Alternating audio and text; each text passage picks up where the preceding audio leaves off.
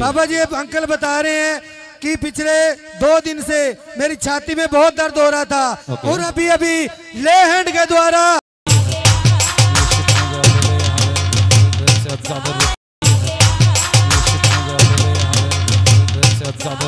ये अंकल अपनी दर्द से आज़ाद हो चुके हैं। हालेलुया।